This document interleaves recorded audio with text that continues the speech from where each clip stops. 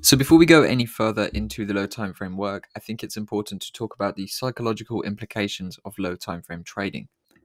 Trading on the low time frames has a lot more mental pressure than the high time frames, and the reason for that is simply because the markets move fast, you take profits quickly, you take losses quickly, and everything happens very rapidly compared to the higher time frame work. So let's say for example then you are looking at a buy from this zone on a high time frame. So we have this little zone down here. We see price comes into it. Let's just say, for example's sake, you do take this trade.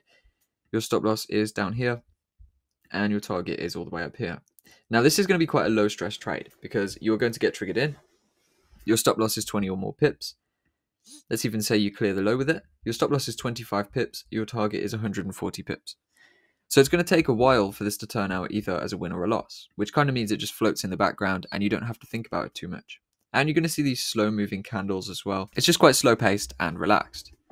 So when you're in a trade like this, you don't have too much stress, you don't have too much pressure. You can just come back and check it every few hours and actually manage the trade accordingly. Now you also have the confidence that you're trading with high time frame zones. And as most people expect, high time frame zones carry more weight, high time frame zones are more accurate. This is another one of the big psychological problems when you go to low time frames. You often think the structure can't be trusted and the zones might not be very strong. So as you can imagine, high time frame trading is a lot less stressful than the low time frame trading is. And if we look at this trade here that we've just marked up, we'd say the entry around here to where it is now, that is 22 hours. So this is essentially a whole day of price action uh, actually playing out, right? So it's very slow moving and relaxed. You can just let this thing go. Now on the flip side, if we go down to the very low time frames and we have a look at a low time frame example, let's say that we actually are selling into the structure here on Euro USD on these low time frames when you get into a position, for example, a position here, following this break of structure down, lower high, and you're selling into that, when you get into this position, you are going to see the markets moving very quickly. Every one of these candles is a minute of price action, and your stop loss is one pip, two pips, three pips, four pips, five pips. What this can mean is, what this means is you're either going to win or lose your trade in a very small amount of time. Now, when a trade's moving against you, it's obviously quite stressful because you can get stopped out instantly and you can take your full 1R loss, whether it's 1% or 0.5%. And when the trade moves in profit, it can also be stressful because of how fast the market is moving. You never know if the market's going to reverse on you. And for example, let's say you're in this trade and it's running profitably down to this point. When you see these large impulsive candles, you may be inclined to actually exit the position in a little bit of a panic. So the low time frames bring more panic and they give you less time to think and less time to react to actually what's happening in the market. If you get clear reversal signals on a high time frame chart, you can then assess the situation, think about it for a little bit, and potentially get out in profit. Or work out that actually it's worth leaving on because nothing major has actually changed.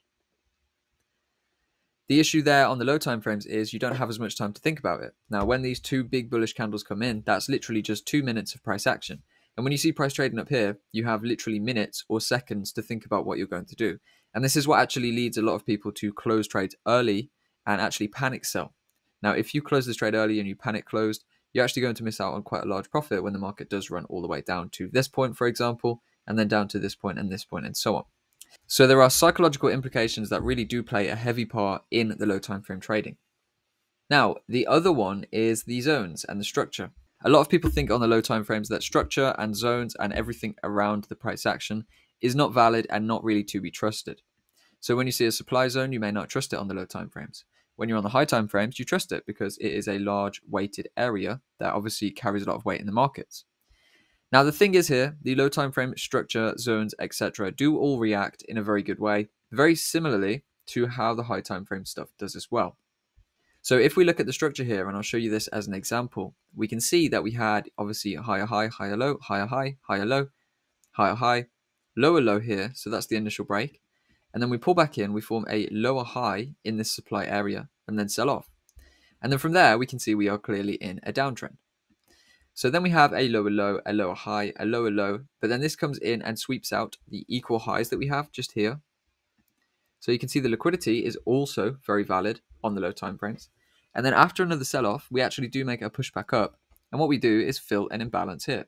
And then price trades through the imbalance into this supply area and then actually sells off. So as you can see, all of the concepts we've spoken about so far on the high time frames also work just as well on the low time frames. We have structure, we have supply and demand, we have liquidity, and we have market efficiency. All of these things working just as well on the low time frames as they do on the high time frames. It can be hard to get your head around and it can be hard to trust the markets, but testing and actually getting some live market experience after going through this section of the course will definitely put you on the right track. Now, one tip, the biggest tip I have when you're moving to the low time frames, is when you're feeling a little bit nervous, a little bit tricky about the low time frames, think of them as if they were the high time frames. So when you're looking at the one minute or five minute time frames, pretend that they're the four hour chart. If you tell yourself that they work exactly the same way as the 4-hour time frame, and you mark up the structure and you plan and place trades the same way you would if you were trading the hourly or the 4-hour time frame, this gives you an immense confidence boost and uh, that's actually where you begin to open your eyes to the fact that okay, these low time frames, even though they move fast, they do work in essentially the same way because they do. If we follow this, we can see a very clear trend similar to what we may see on a high time frame. The start point is this lower high and then we have the lower low structure, lower high, lower low, sweep of liquidity, take out the imbalance, hit supply, sell off. Then we form a clear lower low. Then the market comes back up to fill the inefficiency, trades into this supply area, and then sells off again into a new lower low.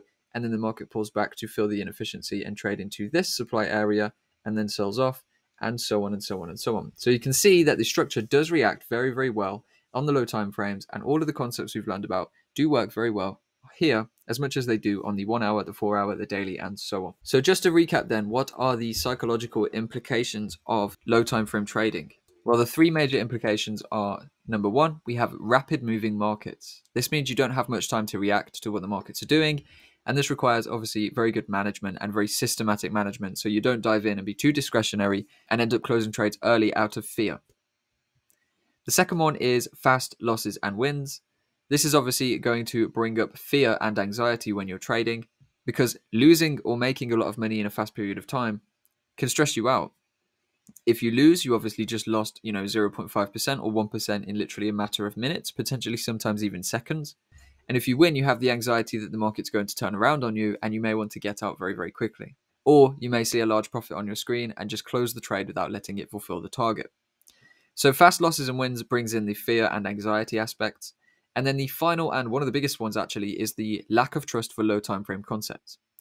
So when you move from high time frame to low time frame trading, sometimes you're not going to trust market structure, market efficiency, supply and demand, liquidity.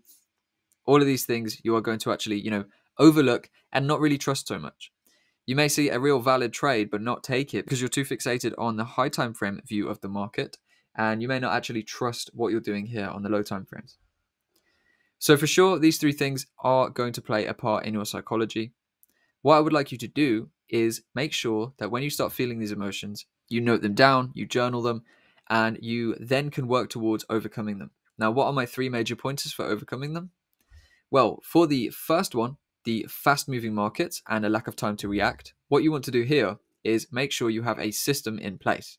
Obviously, we are going to talk through the system We've spoken so far about the high time frame. We're going to speak through the low time frame. But you need a system for execution, you need a system for stops, targets, and you also need a system for trade management, stop loss trailing, scaling into moves, and so on. When you have a system, you don't have to react in rapid time to the markets because you can just follow the system on every trade. You don't have to think, do I take partials here? Do I close my position here? Is the market reversing? You can simply get in, manage your stops, manage your targets, and then let the trade run. Sometimes it's going to get stopped out, sometimes discretion would have helped you, but most of the time, coming in discretionary and actually early closing trades, moving stops, uh, you know, all these things, moving targets, are going to affect you long run. So, the biggest way to get around the rapid moving market and the lack of time to react is going to just be to implement a system. And that is all going to be covered in the next few videos. For the second tip, fast losses and wins, bringing up fear and anxiety, you need to just prepare for this. The best way to prepare for this is to come into the markets with scaled down risk. So maybe when you're first practicing in the live markets, risk 0.25% or something very low like that. By risking small amounts, the stress is not going to be so bad. And then if you want to, you can then start to up that to around 0.5% risk and trade that way instead. Over time, you'll build the resistance to that fear and anxiety because you'll see many fast losses and you'll see many fast wins having played out. And over time, hopefully, you'll see that your results are positive Okay, obviously it's going to take back testing, it's going to take practice, and it's going to take experience. But over time, you will get a feel for those fast losses and wins, and the fear and anxiety will be all but clouded over by your experience. And for the last one, the no trust in low time frame concepts, this one is completely natural. It just comes from, you know, moving from the high time frames. I think we're all educated that the low time frames are inaccurate, the low time frames are messy. To some degree, that's true. They do have more noise than the higher time frame markets, but they are definitely tradable. So to build trust for the low time frame concepts, all you need to do is a lot of backtesting. Now, we do have a backtesting chapter after the technical chapter, which you can go into, and you're going to learn how to backtest your trade there. And that is where you're really going to start to build the trust for the low time frame concepts. Now, you're also going to build the trust through watching this course because you're going to see the low time frame concepts continually winning. Obviously, I'll also show some losses as well, but you're going to see the low time frame concepts in action in the way that I just showed you here, where the trend structure and the liquidity, market efficiency, supply and demand all worked out very nicely. So we simply view this market the same way we would a high time frame trade, and you're going to build that eye for the market over the next few videos and then over your own personal backtesting and market experience. So, those are just the three psychological concepts that I thought we had to talk about before we move into the low time frame processes. The reason being, if you are not in tune with all of these things when you come to the live markets, you're going to run into these problems and you're not going to have them pre planned and you're not going to know how to get around them. So, now that we have that out the way, we are actually going to dive into the low time frame trading process. I'm going to show you various ways to trade standard intraday trading in the London and New York session, and also how to take advantage of that Asian liquidity range sweep. So thank you for watching and I'll see you in the next video.